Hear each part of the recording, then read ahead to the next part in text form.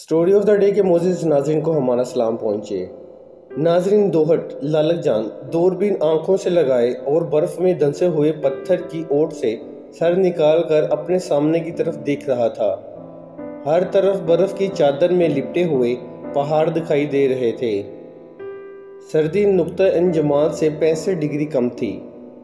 Tiger hills पर बज़ाहिर ज़िंदगी जामत दिखाई दे रही थी। लेकिन बर्फ़ की तहों में छुपे हुए कंक्रीट के मोर्चों में बहुत से आहन पोश मौजूद थे। दोहट अपनी उकाबी नज़रों से इन्हीं मोर्चों में ज़िंदगी के आसार तलाश कर रहा था। लालक जान, ओ लालक जान, दोहट ने दूरबीन आँखों से हटाकर अकब में देखा तो एक साथी कह रहा था, सूबेदार साहब, कह रहे हैं, अब तुम आराम कर लो। लालक जान, जो गुज्त दो रातों से दुश्मन से लड़ाई लड़ रहा था, खिलाफ तो मुस्कुरा कर बोला, तुम नहीं जानते मैं इरादे का कितना पक्का हूँ? मैंने सूबेदार को कह दिया है कि मैं दुश्मन का रास्ता इस वक्त तक देखता रहूँगा, जब तक मुझे यकीन ना हो जाए कि वो उधर आने के काबिल नहीं रहा। चाहे इसके लिए मुझे कितनी ही और रातें क्यों ना जाकर गुजारनी पड़ें। जैसे तेरी मर्ज़ी। ये कहकर सिपाही लौट गया। लालक जान ने अपने मशीन गन को पत्थर के साथ मजबूती से लगा दिया। और एक बार फिर दुश्मन की नकलो हरकत तलाश करने लगा। कश्मीर के इस एहसास और सियाचन के पहलू में वाक़ टाइगर हिल का ये इलाका पाकिस्तान और भारत दोनों के लिए बहुत अहम था। बल्कि भारतीय फौज इन्हीं रास्तों से गुजरकर पाकिस्तान की दफाई लाइन पर हमला करती रही थी। कारगिल की जंग शुरू होते ही ये पहाड़ी सिलसिले पाक फौज के कब्जे में आ चुके थे।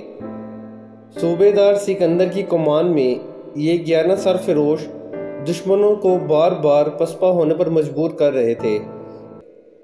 ये यकम जुलाई 1999 की रात थी।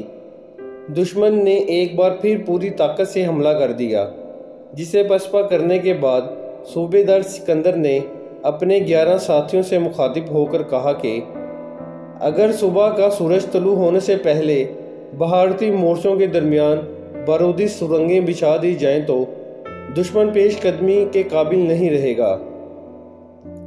लालक जान ने कहा, सर, मेरे नाना ने मेरा नाम दोहट इसीलिए रखा था कि तूफ़ान में जन्म लेने वाला ये बच्चा तूफानों से टकराएगा। आपने जो ज़िम्मेदारी मुझे सौंपी है इन पूरी करके ही लौटूँगा। बारूदी सुरंगों का थैला उठाए और अपनी मशीन गन को बोसा देकर लालक जान छलावे की मान बर्फ़ पोश पहाड़ों में गुम हो गया। फिर टाइगर हिल्स के मुकाबले इस पहाड़ी सिलसिले की जानिब बढ़ने लगा। जहाँ दुश्मन ने मोर्चे संभाल रखे थे। एक घंटे ही में इसने बारूदी सुरंगों का ऐसा जाल बिछा दिया, जो बाद में दुश्मन की तबाही का बायस बना।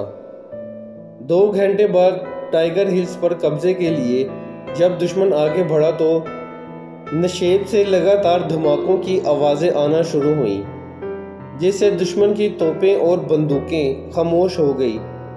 6 जुलाई 1999 की एक कहर आलूद रात, दुश्मन एक डिवीज़न फौज से टाइगर हिल्स पर कब्जे के लिए आगे बढ़ा।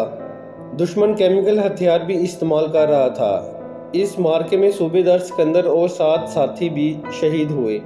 अब लालक जान और तीन साथी ही भारतीय फौज के सामने सीसा पिलाई हुई दीवार बने हुए थे। सात जुलाई 1999 को भी टाइगर हिल्स पर बारूद की बारिश होती रही, जिससे बाकी तीन साथी भी शहीद हो गए। जबकि लालक जान का एक बाजू शदीद जख्मी हालत में कांधे से लटक रहा था।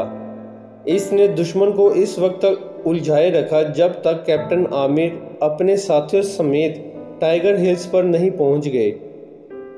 लालक जान ने कैप्टन आमिर को कायल करके बारूद का थैला छाती के साथ बाँध लिया।